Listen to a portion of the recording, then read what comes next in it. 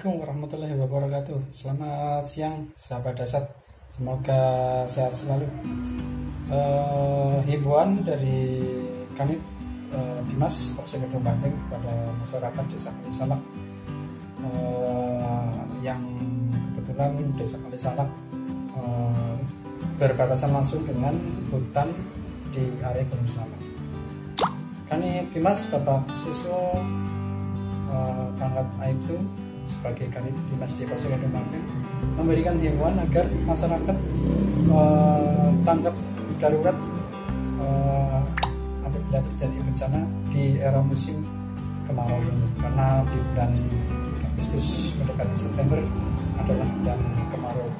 Juga dihimbau kepada masyarakat desa Kalisalak agar uh, saling menjaga untuk wilayah hutan agar tidak terjadi bencana seperti kebakaran, longsor dan sebagainya. Uh, berikut ini merupakan video bagaimana Kadif Dinas Polsek Kendung Bandung Bapak Heru Siswo memberikan arahan kepada masyarakat sekitar hutan atau alas Gunung Slamet di Desa Kalisana, Kecamatan Kedung Bandeng, Kabupaten Banyumas. Saat ini sudah masuk musim kemarau musimnya kadang hijau nih kadang anak beli sih barat ya mandan lumayan banter. Tapi musim saat ini sedang masuk di musim kemarau. Jadi ini sekalian saja Bulo sebagai uh, perwakilan dari Polsek Gedung Bandeng okay, dalam hari ini. Monggo bareng-bareng mengajak kita peduli pada lingkungan kemudian yang kedua peduli pada alam. Oke, lingkungan ini lingkungan sekitar alam berarti sistem sekitar panjenengan termasuk bukit hutan dan sebagainya. Karena situasi apa eh, wilayah di Kalisalam sebagian bu kecil bu akeh itu berbatasan langsung dengan hutan ya Pak Kades berbatasan langsung dengan hutan. Dan ada beberapa warga masyarakat maupun dari lembaga ataupun dari eh, kelompok nggih, yang memanfaatkan hutan. Terus nggih, Pak? Ya, nyung dadi ngomong ora salah omong maksudnya. Memanfaatkan dalam artian ikut mengolah hutan. Terus nggih? Nah, itu jadi nyuwun bantuannya kali masyarakat warga sekitar hutan atau orang-orang yang mengolah di sekitar hutan. Misalnya nawang yang tidak bertanggung jawab atau mungkin di nopo gomblang kan kadang-kadang sok ada kegiatan kemah ya Pak Kades itu juga diberikan himbauan nah misalnya baru hubung-hubungan entah itu gawe api unggun dan sebagainya harap segera dimatikan. Kemudian yang kedua di areal hutannya ya, itu kan tidak marto.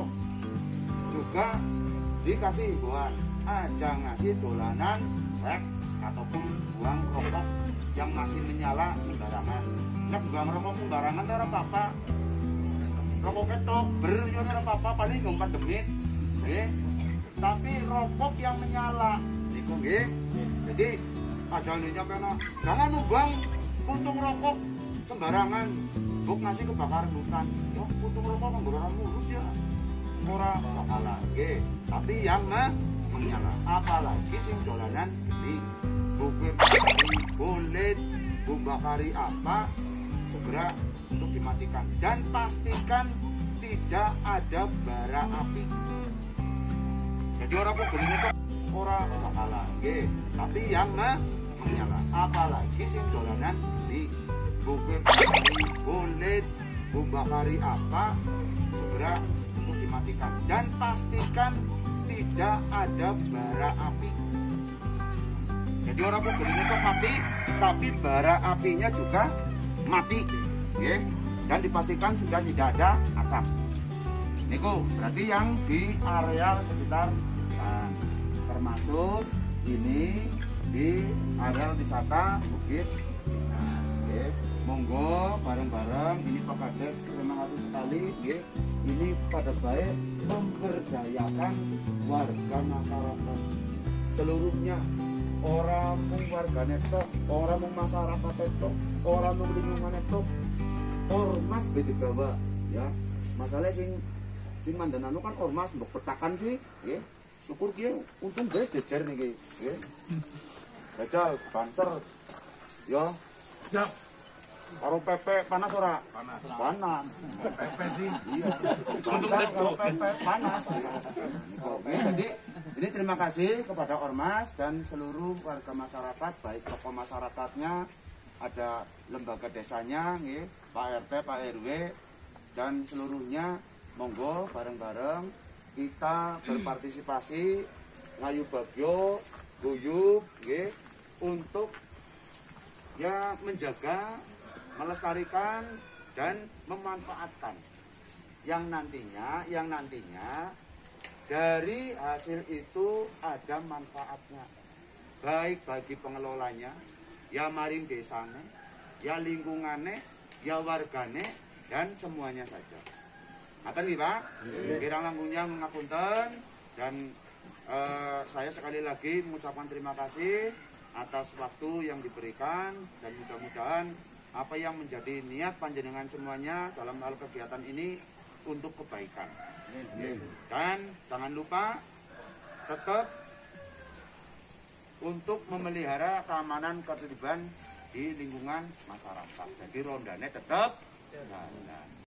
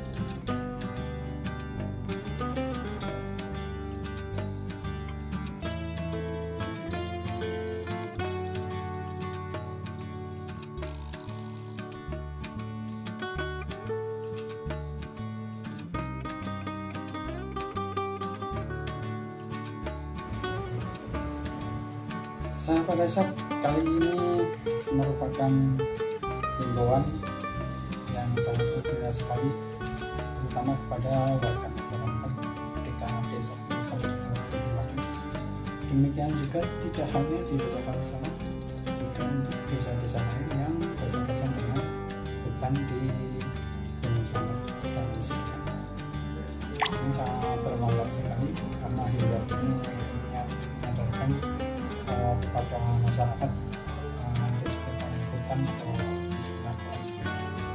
Semoga bermanfaat.